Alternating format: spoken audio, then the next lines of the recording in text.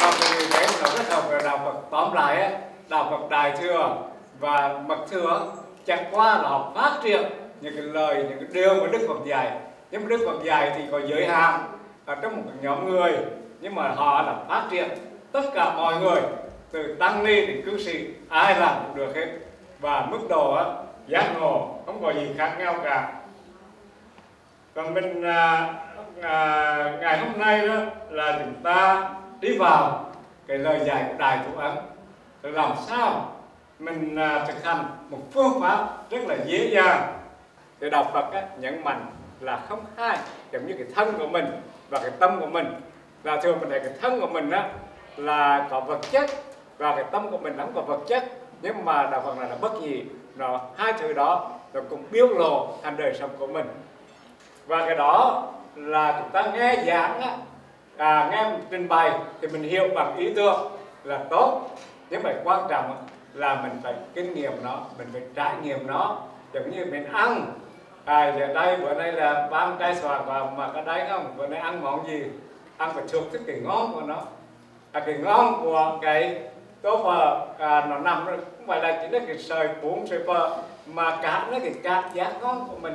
Tất cả nó hòa nhiều vào thành một tròn vẹn thành cái ăn của mình cho nên cái tu cũng vậy nó tròn về là cái thân của mình và cái tâm của mình. Và nó biểu lộ thành một trạng thái rất là rộng lớn. Cái thân của mình là có chỗ này cái một cao một thước năm hoặc là, là nặng 130 bao. Và nó có giới hạn không gian và thời gian. Những cái tâm của mình á nó không có giới hạn không gian và thời gian. Còn cái phật tánh của mình á là không sanh bất diệt. Nhưng mà nó có mặt ngay nó cái thân và tâm của mình cho nên mình qua cái sự tu tập đó mình trực tiếp mình cảm nhận vừa có mặt của mình ngay trong hiện tại mà nó có mặt trong cái trạng thái không sanh bất diệt rộng lớn bao la xuyên vượt qua là không gian và thời gian và nó kinh nghiệm một trạng thái là thường ngã lạc tình. Tức là đạo phật mình là, vô thường vô ngã à, khổ đau và bất tình nhưng mà khi mình tu rồi á thì mình thấy là mình ra kinh nghiệm được cái trạng thái thường, trong vô thường. Cái ngã cái tôi rộng lớn, cái tâm mình rộng lớn là cái ngã chân thật của mình đó, trong cái vô ngã. Trong cái trong sạch của mình đó, nó nằm ngay nơi chỗ cái, nơi cái bất tình và cái an vui kỳ diệu đó nó nằm ngay ở trong cái khổ. Đó chính, và mình thấy là gọi là màu nhiệm cuộc đời. Màu nhiệm của đạo Phật là đạo Phật cho mình một cái con đường để mình đi, mình thể hiện đời sống của mình mình cảm nhận sự có mặt kỳ diệu của mình và đồng thời mình hân hoan mình thưởng thức cái niềm an vui kỳ diệu cái rộng lớn bao la cái đẹp đẽ cuộc đời trong một thân xác nhỏ bé là mình. Quý vị đồng ý vậy không?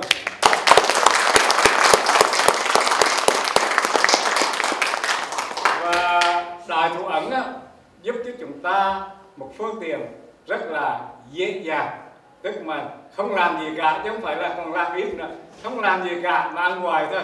À, thì đời sống vô cùng. À, sung sướng vô cùng. Và trong đại thủ ẩn á, mình à, là xa lìa mọi nỗ lực.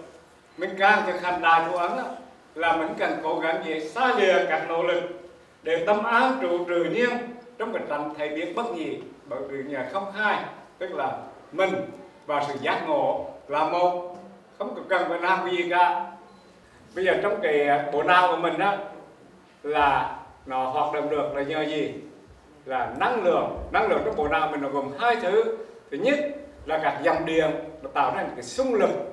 Và thứ hai là các cái chất thần kinh hóa học thần kinh neurotransmitter thần kinh hóa học. Là bây giờ mình ăn ngon á, là có một chất hóa học thần kinh nó kích thích nó làm cho mình cảm nhận cái ngon thành cái năng lượng trong cái bộ não của mình đó là những cái vật chất, năng lượng của ngoài đời là vật chất, nhưng mình còn cái năng lượng tâm linh màu nhiệm vô cùng.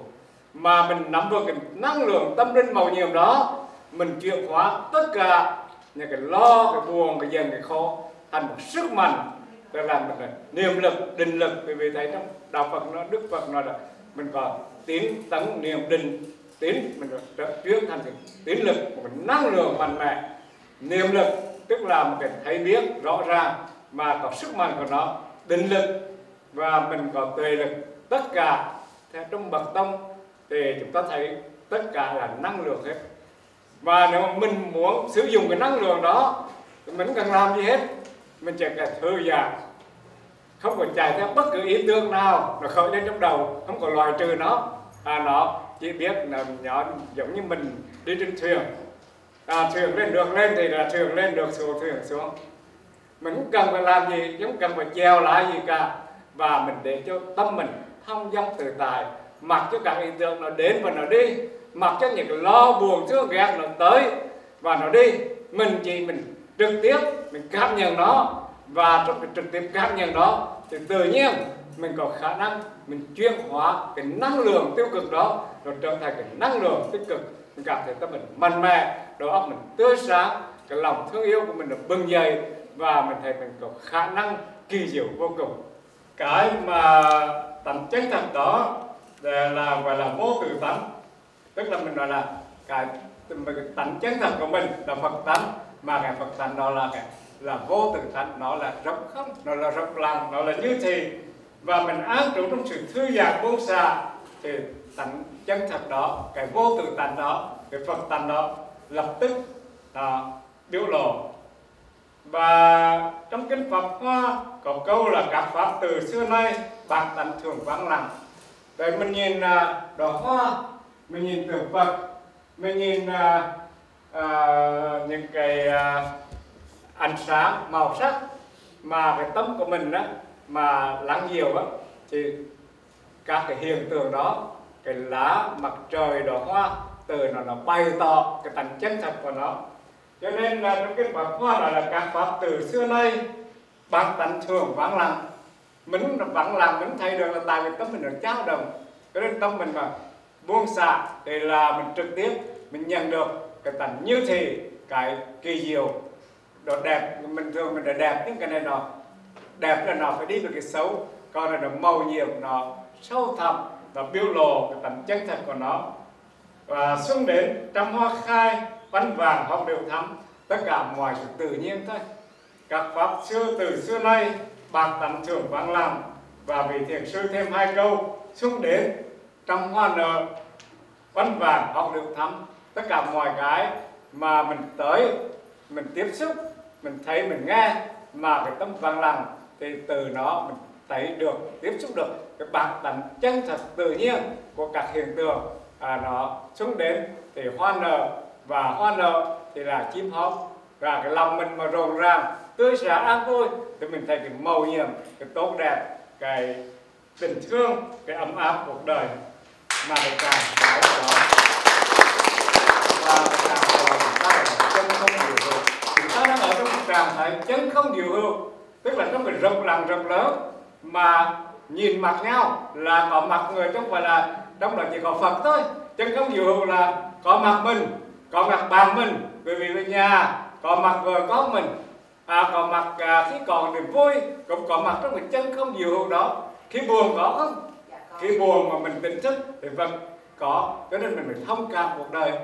À, mình mình xót xa về những cái sự mất mát. Nhưng mà cái lòng của mình đó là bằng bình an mình thấy cái à, vui cái buồn cái thương ghét nhưng mà tất cả nó biểu lộ thành cái trạng thái chân thật tự nhiên.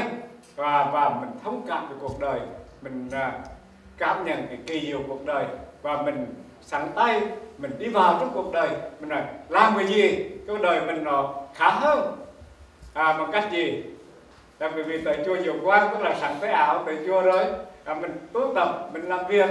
Và mình làm sao mình đi vào trong một trạng thái màu nhiệm của chân dung diệu hữu để mình biểu lộ cái sự có mặt của mình ở trong cuộc đời này.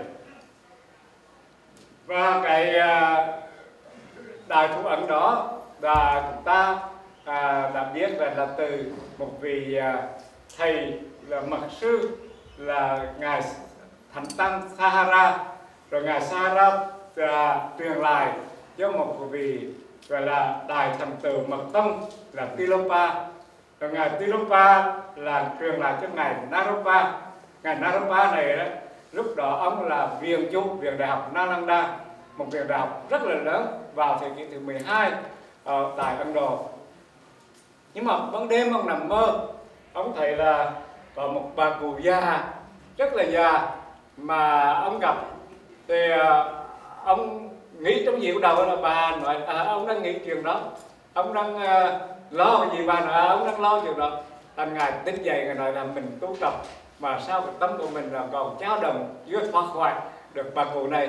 Cho nên ông từ gia à, không có à, ông từ già viện đại học. Nalanda từ chức viện trường viện trường là lớn lắm á bởi người vì viện trường viện trường mà Nalanda là hai chục ngàn đại học. Rất là đông và và sau đó thì à, ông đi tìm và ông đã gặp vị thầy là Tilopa chỉ dài rồi sau đó ông truyền lại cho ngài Magpa và quý vị mà muốn à, đọc thêm à, về à, lại thủ ấn á, thì đọc Naropa the Six Yoga Naropa sáu phép thần thông của Naropa thần thông đó là quý vị có thể là nếu mà mình thanh ra thì à, mình có thể mình à, ngồi ngoài lạnh á, ngồi trời thiệt lạnh mình không có, không đồ á là không có bị đâm đá.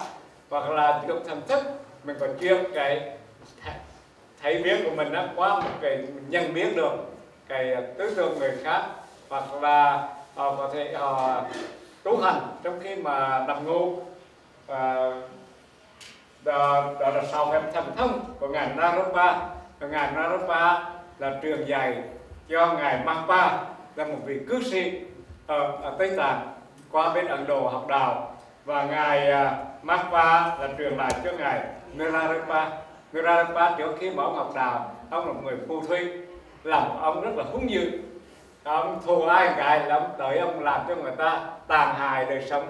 Ông hô phong hoàng vụ làm cho người ta à, mất mát mùa màng à, gieo những cái khổ đau. Nhưng mà sau đó ông ân hận quá. Ông nói là mình làm bậy và cho nên ông từ bỏ tất cả những điều xấu đó đấy. Mình đi giết người mình đi phá hại mùa màng mình à, làm vậy là là cái lòng ông nó còn dọc phật trong người rồi. Cho nên khi ông làm vậy đó xong rồi đó ông cảm thấy quá ân hận. Đó mình bỏ hết mọi chuyện và tìm thầy may ông gặp ngài Magpa và ngài Magpa ngài chiết với ông con đường giải thoát. Nhưng mà ông bị thử thách rất là nhiều. Thì ngài à, Mapa nhiều lúc là sai ông phải cất một căn nhà thiệt lớn khiến từng viên đá để mà xây thành một cái căn nhà lớn.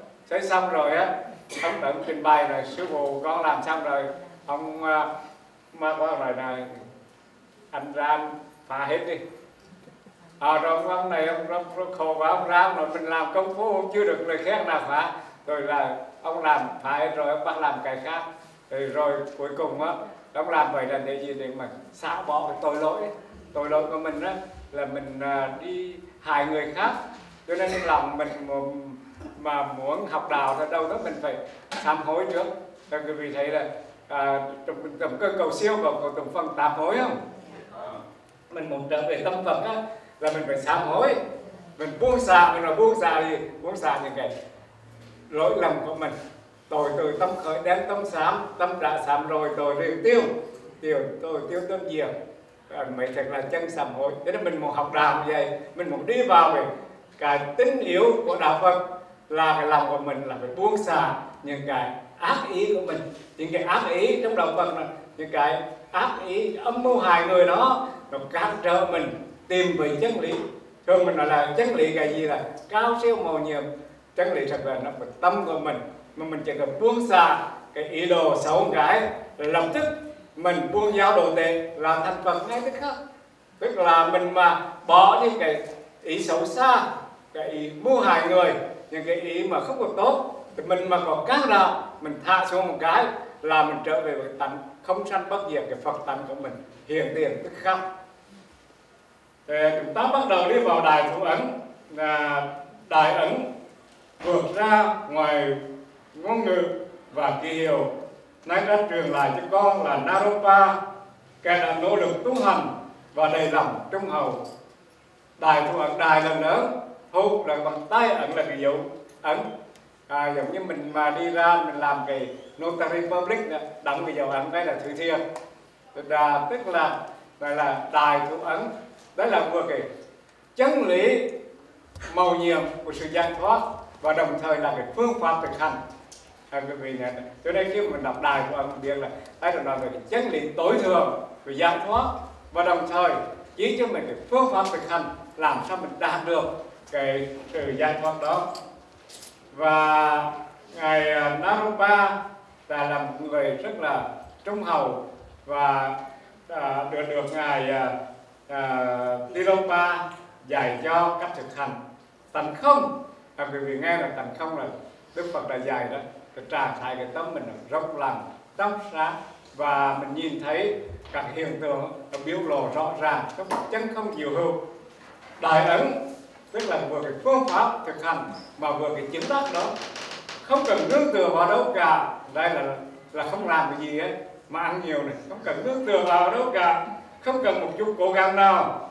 Ta chỉ cần để tâm buông xả và tự nhiên thì ta có thể đập tan xiềng sức trói buộc và đạt được đến chúng tự do vô cùng. Xiềng sức trói buộc là gì? Đừng lo lắng, buồn phiền, giận hờn, mưu mèo, khổ đau. Mình tưởng là mình hay lắm, nhưng mà chẳng là là không có ý nghĩa gì cả. Những cái mà mình tưởng là mình làm như vậy đó, là mình được người ta ca ngợi mình. Mình làm như vậy là nó quan trọng vô cùng. Mình làm như vậy đó là cái mình là số một trong cuộc đời rồi nhưng mà thật sự là cái đó là vòng tưởng đó chỉ là phù phiếm trong cuộc đời. Cả mình muốn là cái gì nữa. Hơn nữa chứ không phải là chục lời danh nhưng mà chục phù phiếm.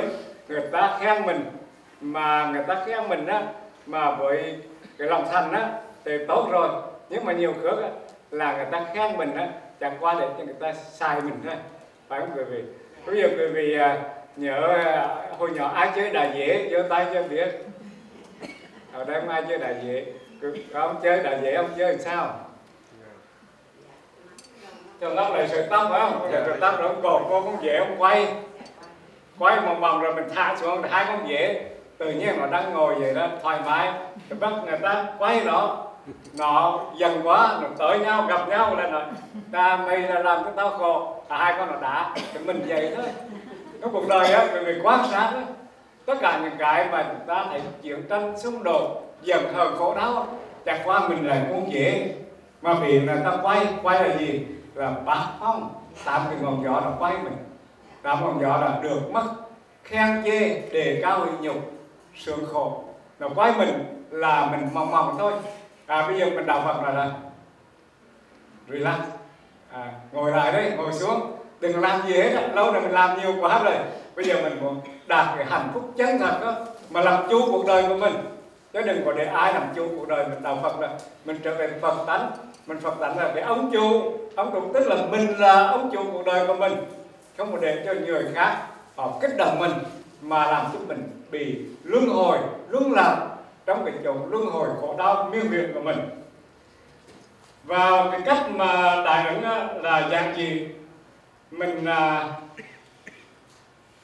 để tâm buông xả tự nhiên và từ tự nhiên, mình có khả năng, mình đạt được cái trạng thái rộng làm rộng lớn. Và nếu mình nhìn vào không gian, sẽ không thấy tâm điều và vùng biên của nó. Thì à, khi nào mình nhìn vào không gian, thì có vị đại sư về bậc tông là Dingo là Rinpoche, ông già. Khi chúng ta dẫn mình vào thực hành khám phá không gian chúng ta nên phát triển cảm giác mở rộng toàn thể. Dẫn chúng ta ra vũ trụ thì mình nhìn vào không gian. Thì mình thấy là không gian còn tâm điện không có biên giới. Thì mình cảm nhận nơi chính mình. Đây là phương pháp đó. Giờ mình ra ngoài ở đầu mình phải tu ra ngoài nhìn vào không gian. Mà không gian rộng lớn không có cái biên giới và không có tâm điện thì là mình quy chiều lại mình vậy. Mình làm sao mình trở về mình cảm nhận đó, cái tâm của mình đó là mở rộng ra và nó rộng lớn như vũ trụ bên ngoài. Và mình mở rộng cái bản thân chúng ta bằng sự đơn giản và sự trần trụi về, về cách nào là hồi trước là tâm mình là phức tạp lắm. À, mình gần nhiên cái tâm mình là nó phức tạp. Lúc đó mình đề ra mình mình bảo vệ cái ngã của mình bằng mọi cách. Nhưng bây giờ mình tu thì mình là mình muốn đạt được cái sự trạng thái giác ngộ thì làm gì? Thì mở cho tâm lớn làm sao mở tâm lớn là mình đơn giản lại tóm lại là bỏ cái sự phức tạp đi. Và mình trân trôi làm còn che mình thêm cũng có biển mình biểu bạch gì hết. Ta nói tôi làm cái này là tài vì tôi như vậy tôi làm cái là tài vì tôi muốn như vậy. Bây giờ mình nói tất cả cái tài vì tài kia đó là mình biết và mình thư giãn nó mình buông xa nó. Và mình uh, thực hành mạnh mẽ và thường xuyên và để mà gỡ cái mặt nạ cái bộ mặt mình thì thường là mình có những lúc mình đọc kinh. À, ai trong cuộc đời chúng ta mà lúc mình á cũng đọc kinh.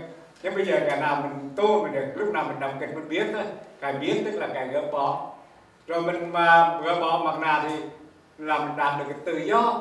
Vì mình đọc kinh á thì lệ thuộc vào trong cái vở kịch đó trong cái vai trò đó trong cái sự quái buộc đó. Bây giờ mình thành thật mình thoải mái mình tự nhiên. Và tu đạo Phật đó là cái nào mình nhắc nhở điều đó, đó là mình chân thật mình thoải mái tự nhiên và mình biết rõ về mình.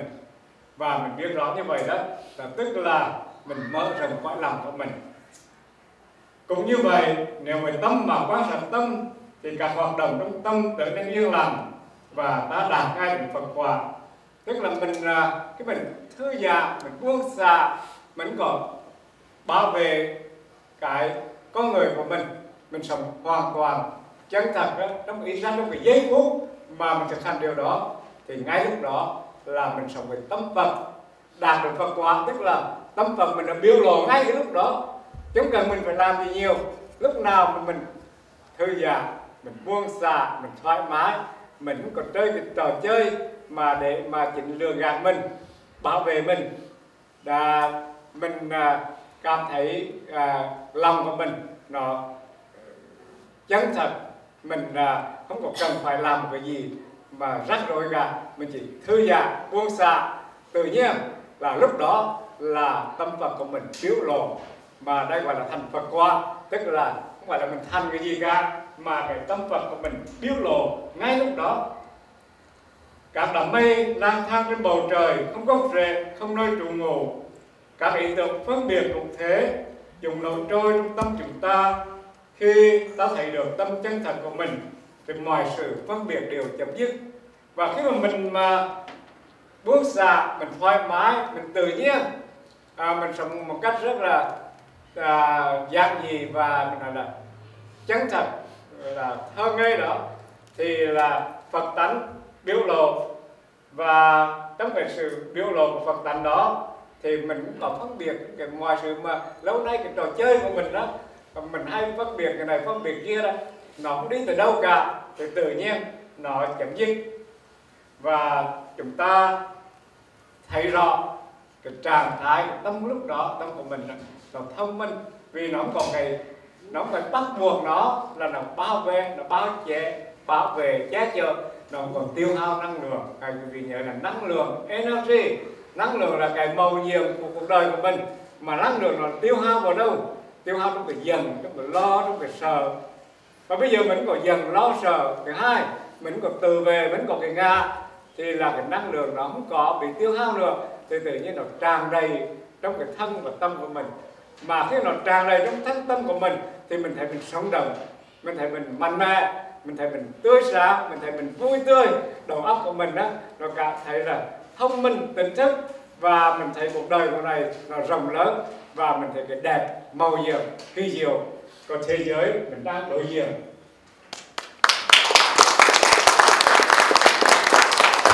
Và nhìn vào không gian, cả hình thù và màu sắc xuất hiện nhưng chẳng thứ gì làm vẫn đủ không gian. Từ tâm chân thật của chúng ta, mọi thứ xuất hiện, nhưng đức hạnh và tội lỗi, không làm nó ô nhiễm. Đấy rất là hay. Rồi là mình gọi là tâm phật mình là không sanh bất diệt. Tâm phật của mình đó là không có ô nhiễm. Mặc dù có lúc mình giận, có lúc mình vui, có lúc mình thương mà mình ghét, nhưng mà như đầm mây trên bầu trời à nó tới đầm mây vàng đầm mây đen đầm mây xám, tới rồi nó đi. Và mà ánh sáng tỏa chiếu, rồi nó cũng đi. Nhưng mà cái bầu trời luôn luôn là như vậy thôi. Ánh sáng tới thì nó tỏa sáng mà mây đen tới thì nó bị che. Nhưng mà cái không gian nó chưa bao giờ nó là sáng mà chưa bao giờ là tối thì cái tâm tâm của mình vậy. Lúc nào nó cũng như vậy và nó biểu lộ cái trạng thái thấy biết chân thật. Cho nên mình đừng có buồn rầu về những lỡ lòng mình lỡ lòng mình làm cái gì đó mà sai trái thì mình chỉ nhận biết mình đó đó không phải là con người chân thật của mình. Mình có à, nói lời nhiều ai mà cho khổ đau thì đó không phải là mình. À, mình không bao giờ mình à, là à, à, mà à, muốn chấp vào điều đó. Chẳng qua là vì nhân duyên chẳng có do mê mờ của mình chẳng qua vì những cái sự vùng về của mình thì mình chỉ biết rõ. Và mình đừng có dày vò mình chịu đó. Mình nói à, đó là cái sai lầm đó là mình tội. Mình nói là tội từ tâm khởi cái tâm bình ngay lúc đó. Và biểu lộ ra thì bây giờ mình sám hối thôi à, tấm rằng à, ờ, mình mà sám hối mình nhận nó thì tự nhiên mình trở về cái bầu trời rộng lớn của mình. Và mình thoải mái lại và mình làm được điều gì tốt đẹp để mình bù đắp vào những cái gì mà mình gây khổ đau cho người khác. Nên lúc đó cái tâm của mình đó nó thông minh nó tinh thức nó bén nhạy cho nên mình nhìn thấu suốt được những cái hành vi của mình trong quá khứ và trong hiện tại.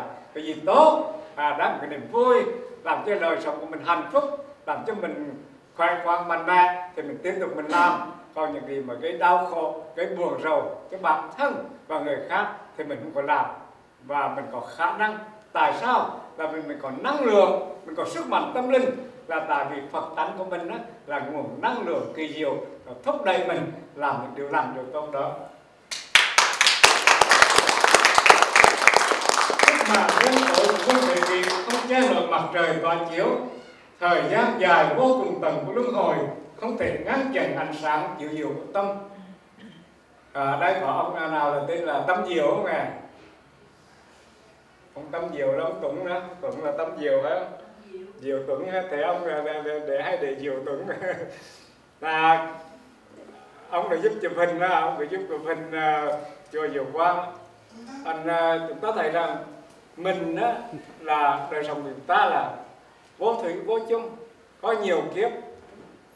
Thì có những kiếp mình mà tái sinh làm người đấy à, là mình cũng còn nhân duyên với cuộc đời. À, không thì mình về gọi Phật mình còn tái sinh vào cuộc đời của người. Là hai do hai cái lý do. Một á, là mình à, do vô minh dương sanh tức là vô minh dương hành tức là tất cả những điều kiện mà mê mờ thúc đẩy mình và tạo duyên mình trở thành một đời sống con người. Nhưng mà mình nhờ có tu tập cho nên là làm người chứ không mình tài sanh đó, làm con gà gãy buổi sáng rồi. Và mình à, nhưng mà còn còn hai là mình sinh là cuộc đời này là do về đại nguyện cứu độ chúng sanh là do là chân tâm dương sinh. Tức là mình sinh ra là vì mình ước mong mình học hỏi Phật pháp và mình đạt sự giác ngộ để mình cứu độ chúng sanh. À, giống như quý vị thấy là như là bà hạnh nhân đó bà là, chân tâm yêu sanh bà làm việc rất là tốt cả cuộc đời của bà là quý vị thấy. À, từ nhỏ đến lúc nào bà cũng làm việc tốt. Và bà là à, ngoài ra bà làm chuyện à, xã hội giúp đỡ à, các à, thương vệ binh đó, cô nhi quả phụ mấy chục ngàn người mà là lan ra là cả trăm ngàn người. Mà hồi nhỏ bà là hưởng đạo sinh và qua Mỹ này á, là bà là tổ chức các nhóm tu học và tập khí công. À, cho nên cuộc đời của bà là lúc nào thấy bà hiền lành nói năng bền mỏng chiều đời khó vô cùng. Cho nên chúng ta thấy đó đâu có xa ngay đây quý vị đấy cũng có những vị bồ tát ngồi đây mình biết được. À, và lúc nào đó học tỏ à quang mình may mình biết. Lúc này ngồi học tỏ học quang. À, thì mình đâu có biết gọi là bồ tát tái sinh.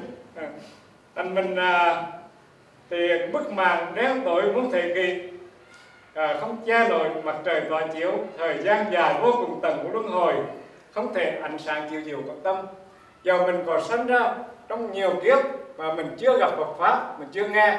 Nhưng mà ngày hôm nay mình nghe một cái là mình thấy là tâm mình tỏa sáng lên như là mặt trời chiếu sáng mà trong đêm tối muôn ngàn năm rồi không có ánh sáng mà chỉ cần thắp một cái ngọn đèn lên là nó toa chiếu và sáng cả căn phòng của mình.